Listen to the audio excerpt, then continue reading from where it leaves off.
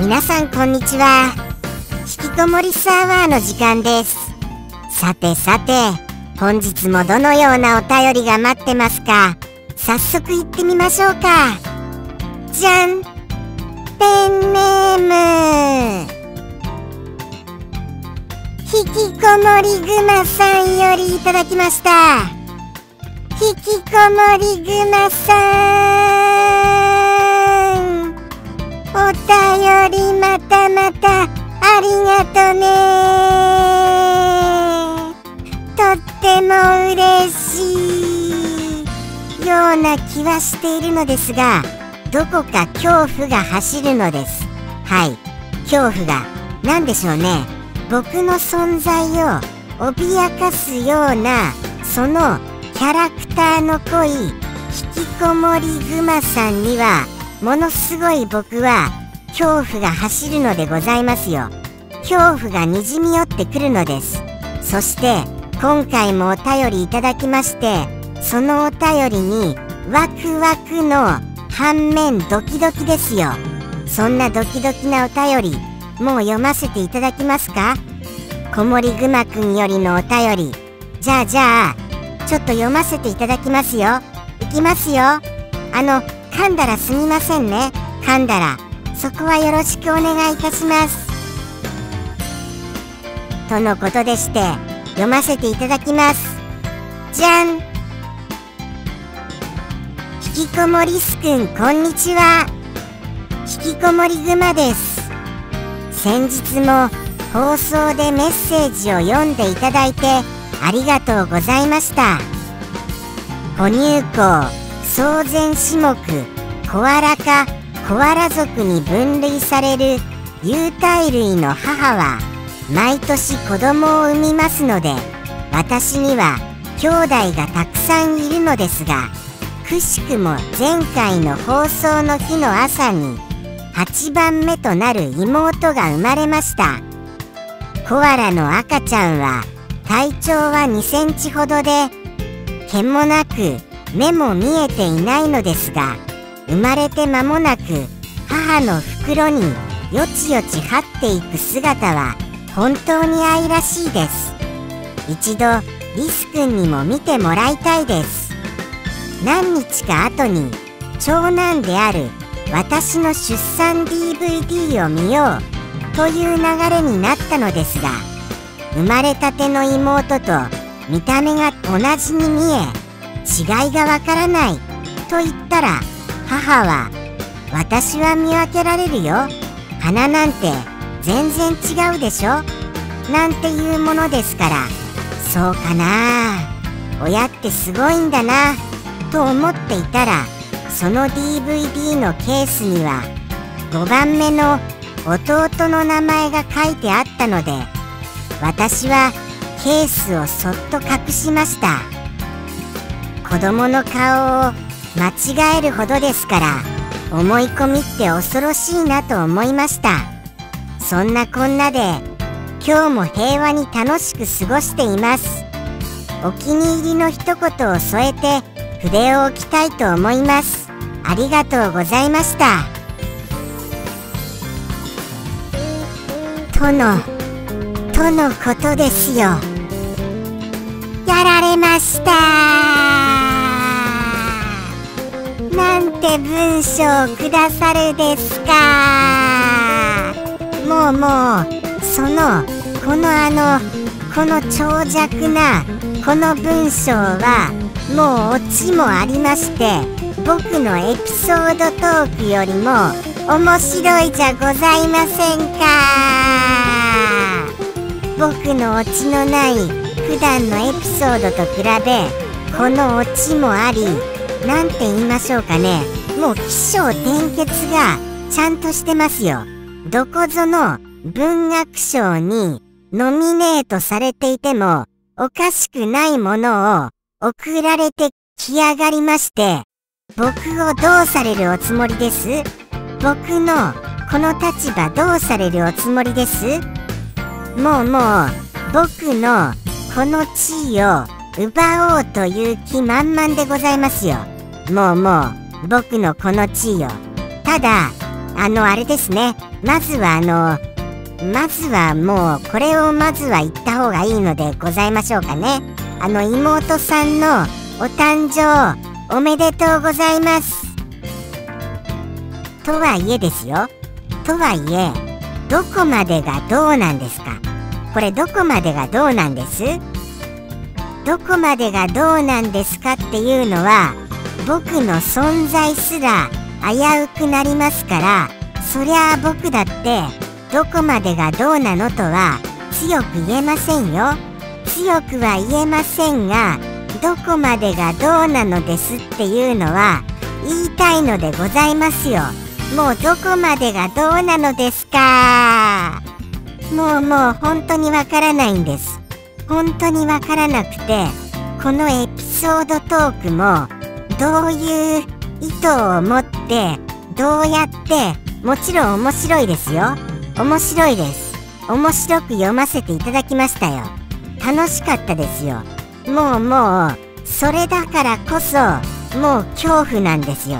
もう本当に僕のオチのない起承転結のないエピソードトークを上回って干上がられることによってもう次回からはこの場所にコアラくんが座っているんじゃないかと思うと怖くて怖くてもう今夜とか眠れませんからもう声が裏返っちゃいました。声が。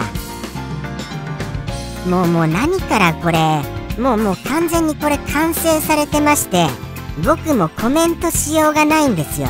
はい。もうこれでもう一つのものとして作品として完全に成立してましてエピソードの挟みようがございません。本当に。そしてですねあのー、僕にその妹さんの張っている姿を見せていただけるのでしたら見せていただきたいですよね。そりゃ可愛いでしょうね。本当に本当におめでとうございますは何度も言わせていただきます。ただどこまでがどこまでかはやっぱり心のどこかには引っかかってますけれどもね。はい。そうなのでございますよ。そしてあのー、お母様お母様エピソードをじゃあ言いましょうか。お母様エピソードを僕はそうですよね。お母様って強いですよね。不思議と。もうもう強く強く巨大で本当に大地のようですよ。母なる海ですよ本当に。そんな母ですけれども僕はですよ。僕はあの実は実はと言いますかこのように見える通りあの家族でお箸とか茶碗とかを共有するのが実は苦手なんですよ。すみません苦手で。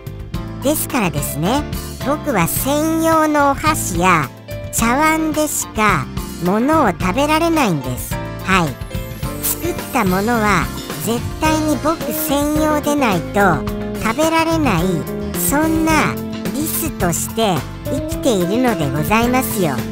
それがですよ久しぶりにすっごく久しぶりにあのー、実家に帰ってご飯を食べてみたら僕専用じゃなくなっているじゃございませんか。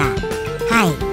もうもう僕専用じゃないと食べられないっていう事実を母はすっかり忘れていたのですよ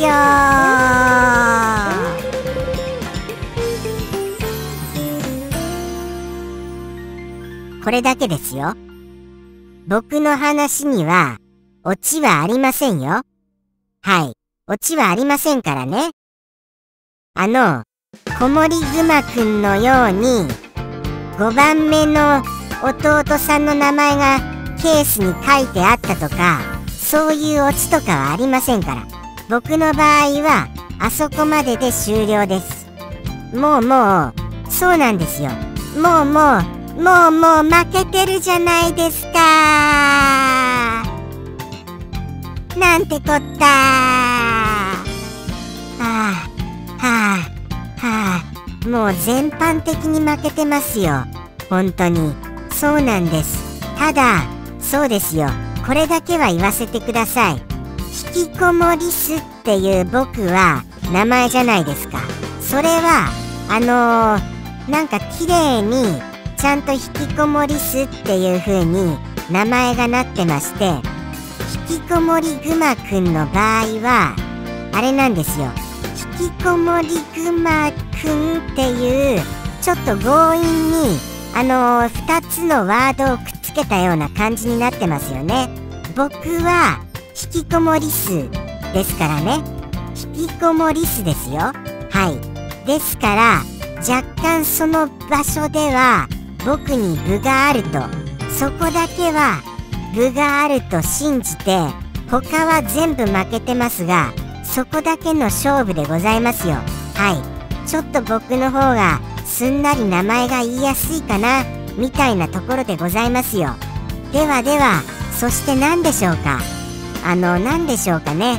もうお一言に言ってみましょうかと言いたいところですが何のお一言かもちゃんと見てご説明しませんとなりませんよね。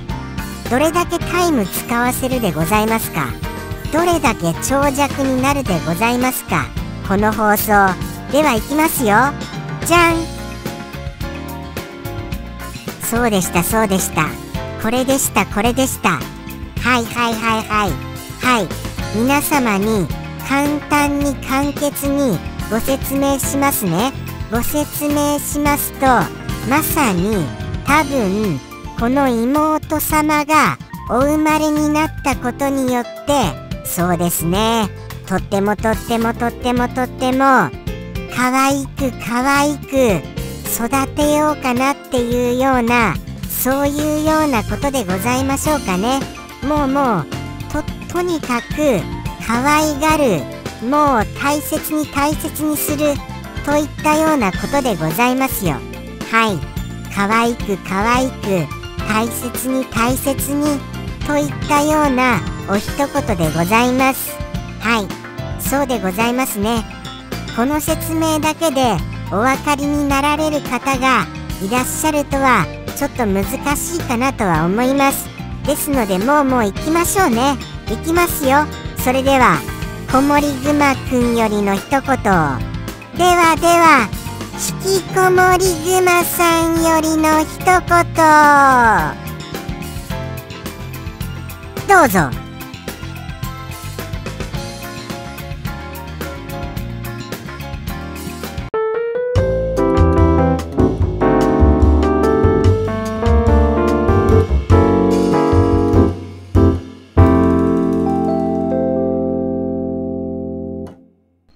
蝶よ花よ。